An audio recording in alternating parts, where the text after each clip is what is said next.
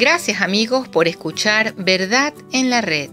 Verdad en la Red es un canal dedicado específicamente para el descubrimiento, crecimiento y afianciamiento de las verdades de fe que explica la Iglesia Católica. Sin embargo, a raíz de las presentaciones de la Inmaculada Concepción y la teoría de la evolución, como también la de argumentos sobre la teoría de la evolución, hemos recibido preguntas. De manera que hemos decidido ofrecerles tres excelentes documentales producidos por Northwest Creation Institute sobre la creación, que pueden ayudarlos a encontrar las respuestas que buscan.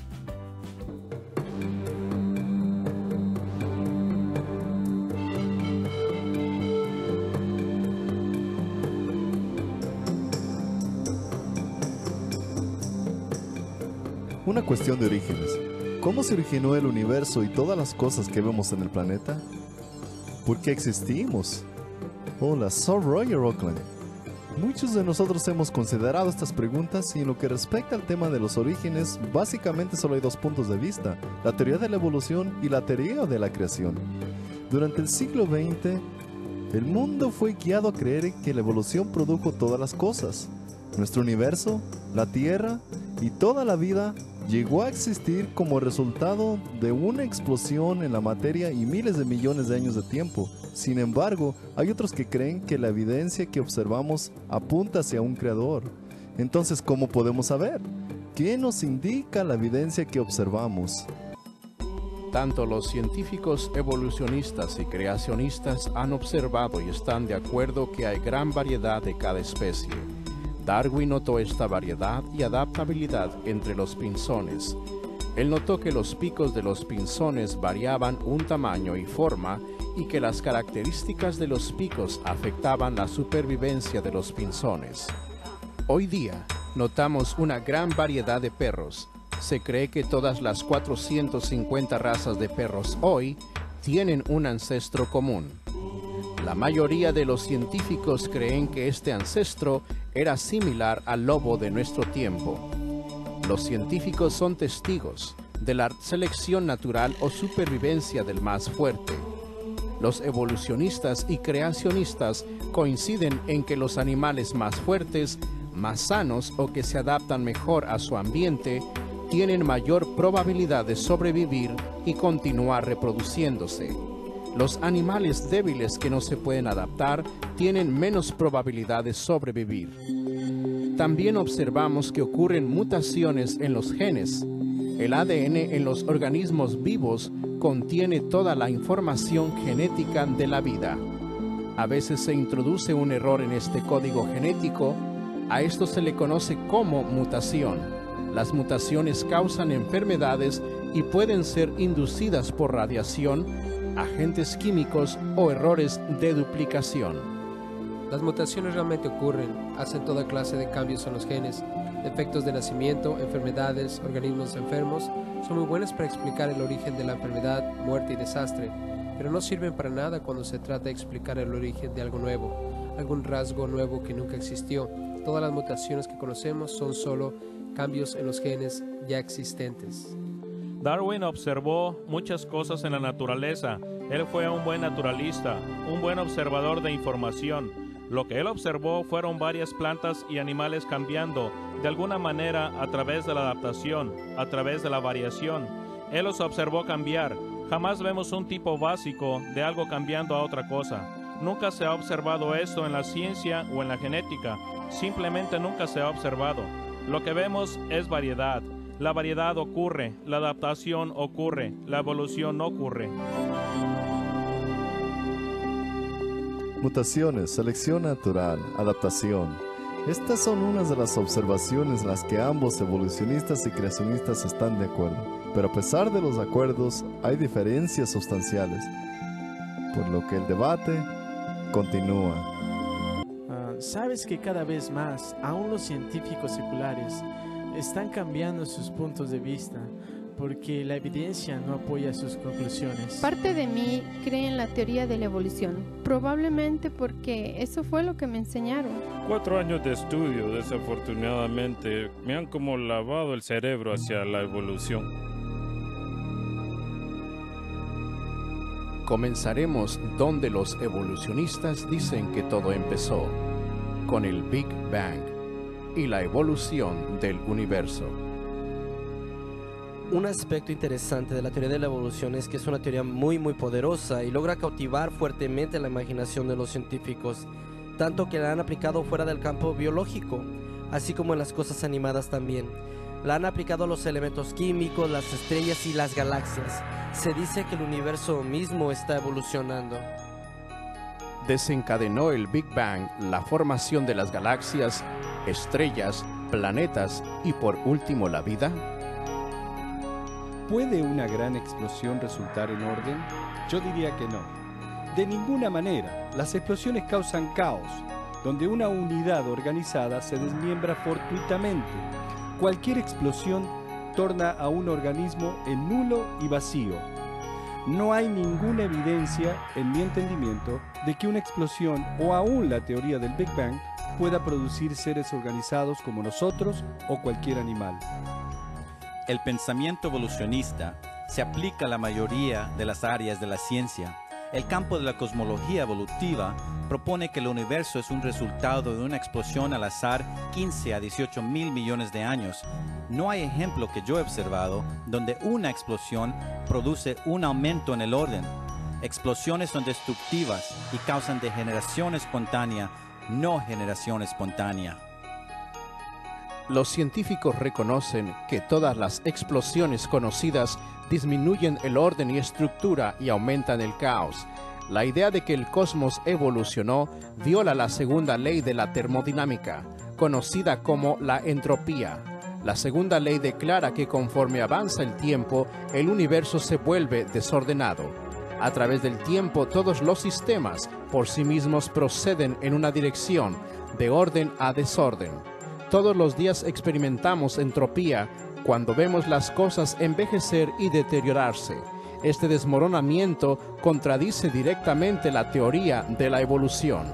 Ahora bien, la segunda ley te permite incrementar orden. Por ejemplo, un bebé creciendo hasta adulto o una semilla convirtiéndose en un árbol. Esto es posible si solo si se tiene una fuente externa de energía y un mecanismo que aprovecha esa energía. Los evolucionistas no cuentan con ello. Como dijera Sagan, el cosmos es todo lo que hay, no hay nada más. Sin una fuente externa de energía, la segunda ley de la termodinámica es absolutamente contradictoria a la teoría del Big Bang. Lo que vemos en la cosmología es esto. Todas las cosas se están degenerando. Las estrellas están consumiendo su combustible. De vez en cuando una estrella explota y va de orden a desorden rápidamente. Lo único que vemos en el universo hoy es que el universo se está gastando, se está deteriorando. Está yendo de orden a desorden. Va hacia menos y menos organización. Hay una observación que los científicos hacen en cada campo de la ciencia y se llama generalmente la ley de la entropía. Es como si el universo fue de alguna manera enrollado como un reloj de cuerdas y se estuviese desenrollando. Los científicos que estudian cosmología hablan acerca de la muerte térmica postrera del universo Conceptualmente es muy claro por lo que conocemos que todo el universo algunos miles de millones de años en el futuro será de temperatura uniforme, no habrá diferentes temperaturas que explotar para obtener trabajo útil. El hecho de que el universo fue diseñado y ordenado en un tiempo finito pasado no ha escapado la atención de los científicos seculares. El científico de la NASA Robert Jastrow escribió, la segunda ley de la termodinámica aplicada al cosmos indica que el universo se está desenrollando como un reloj. Si se está desenrollando, tuvo que haber un momento en el cual estuvo enrollado. La siguiente pregunta obvia es, ¿quién lo enrolló? Gordon Van Wylen consideró esta pregunta ampliamente en su libro Termodinámica, cuando escribió, el autor ha encontrado que la segunda ley tiende a incrementar su convicción de que hay un creador que tiene la respuesta para el destino futuro del hombre y del universo. Nosotros solo vemos destrucción, nunca innovación, y esto Pienso es lo que el modelo de la creación ha estado proponiendo todo este tiempo, que en el principio las cosas eran buenas, eran perfectas, tal como Dios quería, pero entonces el pecado entró en el universo y la maldición de Dios sobre toda la creación a causa del pecado. La paga del pecado es muerte, no solo en la vida física, sino en el universo. Todo se está muriendo, el sol se está consumiendo, la órbita de la luna está decayendo, todo está en proceso de muerte y descomposición. Evolucionistas y creacionistas están de acuerdo que el universo es finito. El espacio, el tiempo y la materia tuvieron un principio, comenzando con los estudios de Albert Einstein a principios de los años 1900 y a lo largo de este siglo. Los científicos están de acuerdo que el espacio, el tiempo y la materia tuvieron un principio. La ciencia del siglo XX, avergonzadamente, ha confirmado el punto de vista bíblico, pues el gran descubrimiento en cosmología es que los expertos están de acuerdo que el universo tuvo un principio ellos llaman a esto una singularidad. Sabe, la idea del Big Bang realmente es que no había nada y después explotó. El hecho de que el universo es finito y tuvo un principio es un hecho clave, pero para los evolucionistas es un factor muy humillante porque resalta un asunto con el cual no quieren lidiar. El asunto es, ¿qué pasó antes de esta singularidad? El modelo de la creación siempre ha anticipado un universo finito. En el primer versículo de Génesis leemos, En el principio Dios creó los cielos y la tierra. La Biblia también enseña que el tiempo tuvo un principio. Increíblemente, la Biblia explica hasta la entropía. Desde el principio tú fundaste la tierra y los cielos son obra de tus manos ellos perecerán, mas tú permanecerás, y todos ellos como una vestidura se envejecerán.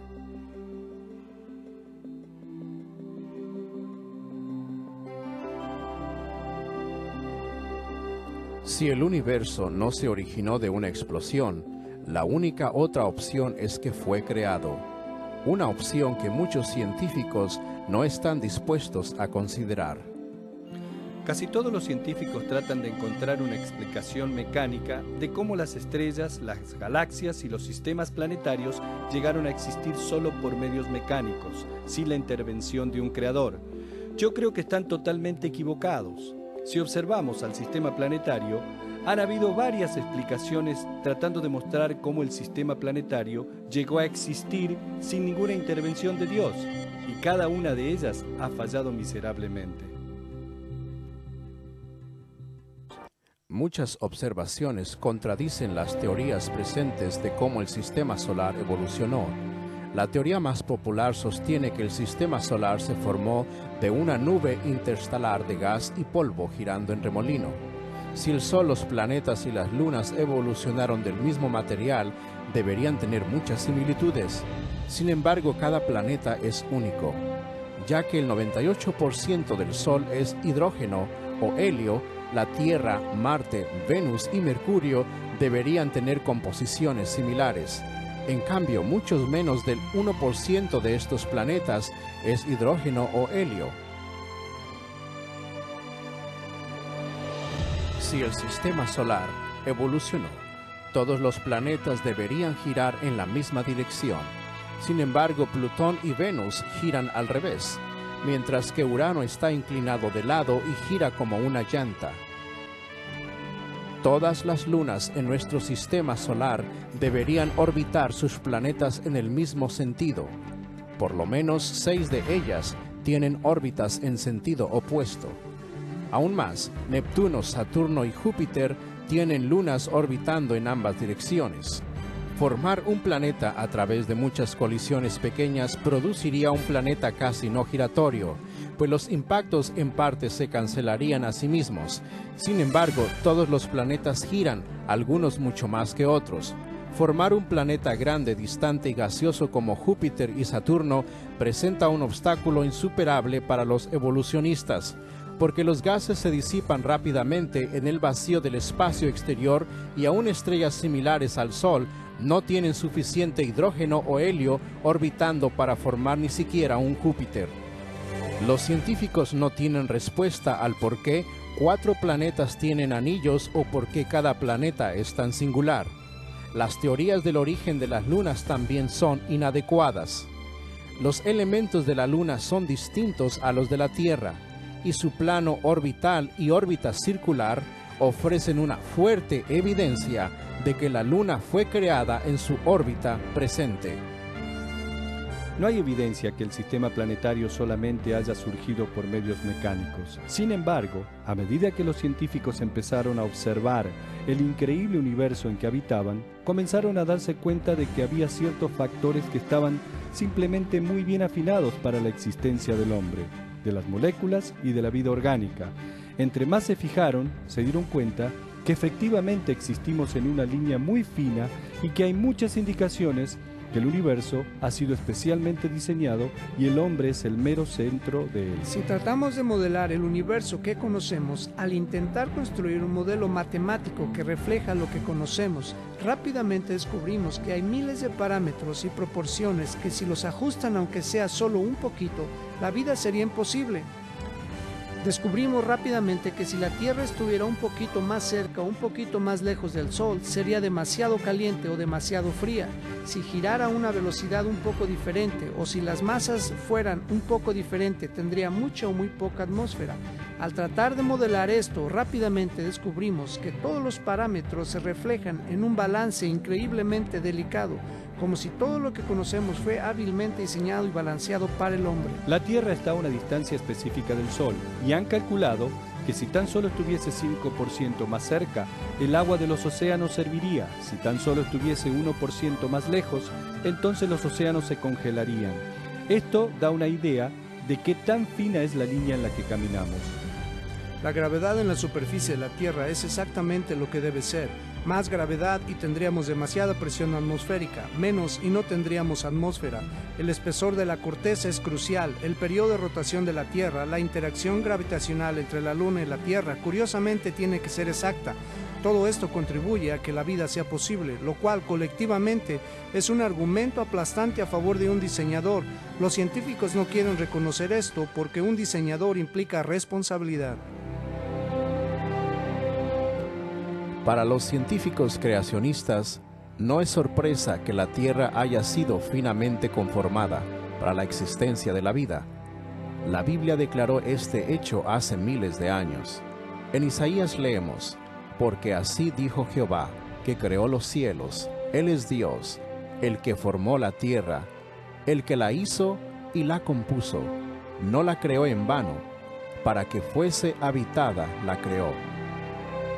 El físico y ganador del premio Nobel Arno Penzias declaró en 1992, La astronomía nos guía a un evento único, un universo que fue creado de la nada, con el muy delicado balance necesario para proveer exactamente las condiciones correctas requeridas para permitir la vida. Un universo que tiene un plan, podríamos decir supernatural como base. El astrónomo George Greenstein declaró en su libro El universo simbiótico, al considerar toda la evidencia, el pensamiento de que algún agente sobrenatural debe estar involucrado surge instantáneamente. ¿Será posible que de repente, sin haberlo intentado, hayamos tropezado con prueba científica de la existencia de un ser supremo? Fue Dios el que intervino y así providencialmente creó el cosmos para nuestro beneficio? Entre más estudiamos el cosmos, más verdaderas suenan las palabras del salmista. Los cielos cuentan la gloria de Dios y el firmamento anuncia la obra de sus manos. Un día emite palabra a otro día y una noche a otra noche declara sabiduría. No hay lenguaje ni palabras donde no es oída su voz. La evidencia revela claramente que Dios ha creado el universo y el sistema solar, y específicamente diseñó la Tierra para la vida. Sin embargo, muchos prefieren confiar y creer en el Big Bang, en lugar de confiar y creer en el Dios de la Biblia. En la siguiente sección examinaremos la posibilidad de que la vida surja espontáneamente de sustancias químicas. En la escuela los niños aprenden lo que dicen los textos del momento y los textos los cambian con el tiempo. En una época la ciencia era ciencia y una hipótesis era una hipótesis y una teoría, como por ejemplo evolución, era una teoría. Lo triste es que aún lo es porque no se ha demostrado y no se puede demostrar como tampoco se puede demostrar que la creación es falsa. Lamentablemente, lo que prevalece hoy en día es una dictadura intelectual y el que no esté de acuerdo es objeto de ridículo y del insulto y se le niega acceso a hablar públicamente en contra de todo aquello que la dictadura intelectual acepta o promueve. En el futuro cercano no nos extrañemos que incluso se persigan aquellos que públicamente se opongan a las líneas del pensamiento que propone la dictadura intelectual. Fíjense cómo en unas pocas décadas en las escuelas y colegios, institutos universitarios han pasado de hablar de evolución como una teoría a la completa negación de Dios y la creación y han arbitrariamente elevado la evolución a niveles de ciencia exacta. Asimismo, los colegios de hoy en día enseñan toda clase de deformaciones morales como algo perfectamente aceptable. Si no ha llegado aún a sus colegios o universidades en el país donde usted se encuentra, no se sorprenda cuando lleguen como parte del pensum para los alumnos la promoción de las prácticas de aberraciones homosexuales, cuestionamiento de la sexualidad de los niños a tierna edad, masturbación, aborto y el uso de anticonceptivos en niños preadolescentes.